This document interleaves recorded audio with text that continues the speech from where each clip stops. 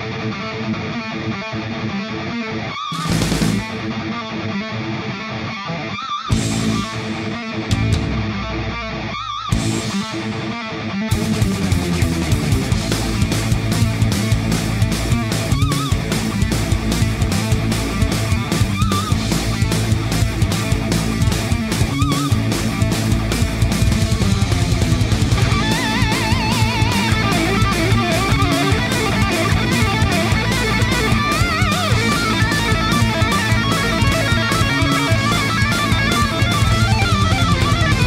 Fala aí galera, Bruto Fera finalmente trazendo mais um vídeo pra vocês. E no vídeo de hoje mais um Dokkan Awaken galera.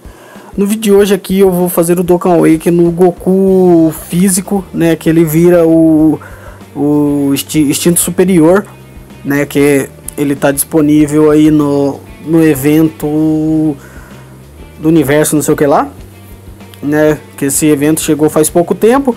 E você consegue farmar tanto o personagem o Goku, né, a carta SR, e consegue transformar ela até deixar no instinto superior. Essa cartinha aqui no, no canto que vocês podem ver ali de frente, tá vendo? Ela é ela é SR, é, é SR eu acho.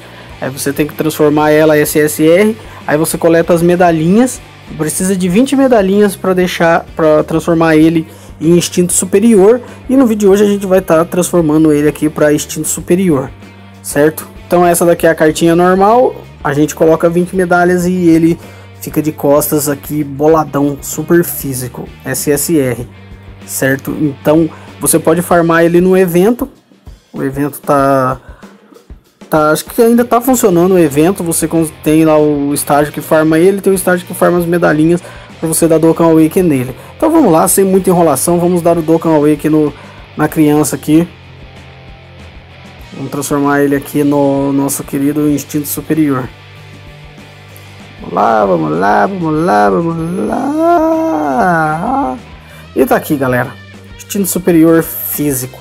Primeiramente eles lançou o Int, né, que veio no banner, aí depois eles deram de graça esse o físico, o super físico aí, que é de grátis. Então o primeiro que veio no banner faz tempinho, né, que era o Int, e agora tem um gratuito aí que você pode fazer e deixar ele 100% também, só você farmar até conseguir deixar ele com ataque, super ataque 10, e você também pode deixar ele 100% no raio no Potential System, que é só você ficar farmando, você vai gastar itens de treino a cagar, você vai gastar um monte de coisa se você quiser, então...